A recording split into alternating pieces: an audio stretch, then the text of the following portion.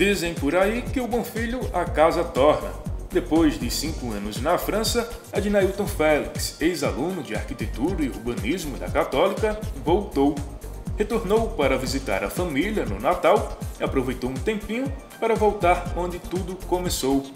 No campus, o reitor recebeu o Ed e mostrou a ele as reformas e mudanças da universidade.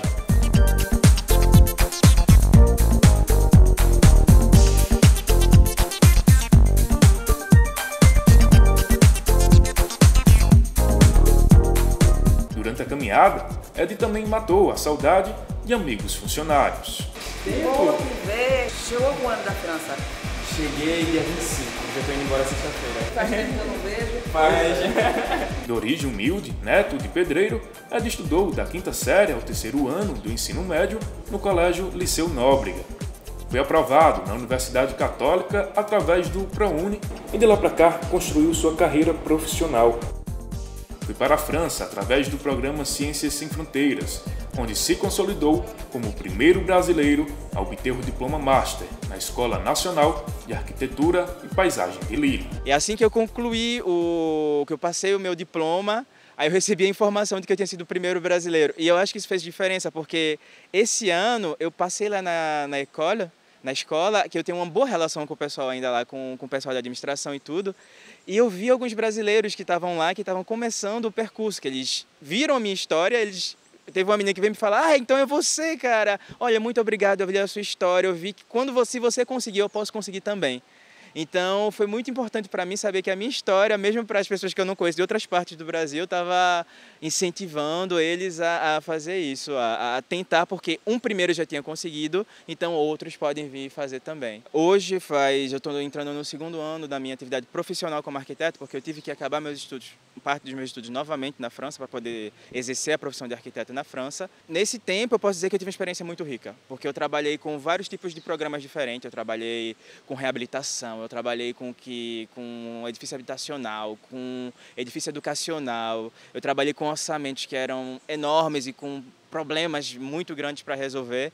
E eu posso dizer que eu tive chance de trabalhar com isso tudo durante um pouco tempo depois de formado. Então, voltando para cá agora, eu vejo ah, nesse local, nesse local aqui, eu passei tanto tempo da, da, minha formação, da minha vida, foi passado, foi passado nesse laboratório. No outro local, eu fui, ah, aqui eu encontrei aquela secretária que me ajudou.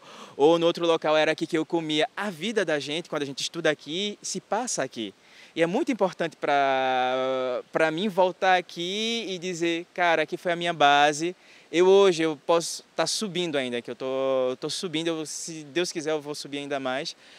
Mas a minha base, os primeiros degraus foram aqui e isso é muito importante para mim voltar hoje ver como é que está tudo aqui.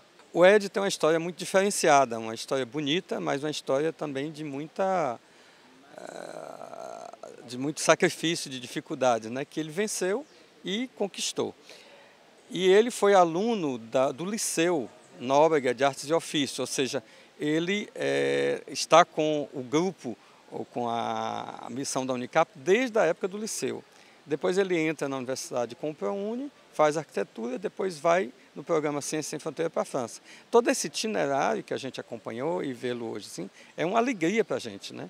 porque a gente sabe as dificuldades que a maioria dos alunos é, enfrentam para estudar na católica. Né? A gente nem sempre pode ajudar naquilo que a pessoa precisa, mas a gente fica na torcida buscando brechas, buscando é, pequenas vias em que a pessoa pode ir superando as dificuldades.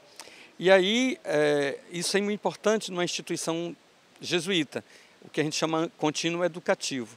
Você acompanha a pessoa em todas as etapas da vida. Então, a, a formação acadêmica é uma parte, mas a vida ela continua. Então, para nós é um orgulho muito grande e a gente espera que histórias como essa sejam contadas, replicadas, mas também que pessoas possam ser contagiadas com esse testemunho, com essa determinação e com essa vontade de ir além das suas possibilidades. Para você que está começando a arquitetura agora, eu mando uma mensagem: não se iluda, o curso não é apenas desenho, o curso não é fácil. A arquitetura é um dos cursos mais difíceis que tem uh, uma formação mais difícil que tem no mundo todo. Todo mundo, eu já, tra já trabalhei com espanhol, já trabalhei com francês, com inglês, com alemão, e todo mundo reclama. A gente se dedica demais, é tempo demais, e realmente é. No começo a gente pensa que não, mas depois é. A gente tem muito trabalho, mas vale a pena. Você não pode parar uh, de sonhar, não pode parar os seus objetivos, o seu sonho,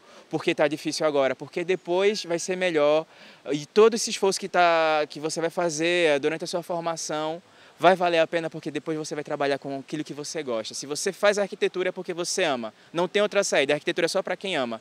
E se você ama isso, não vá fazer outra coisa. Continue o seu percurso, chegue até o final que vai valer a pena.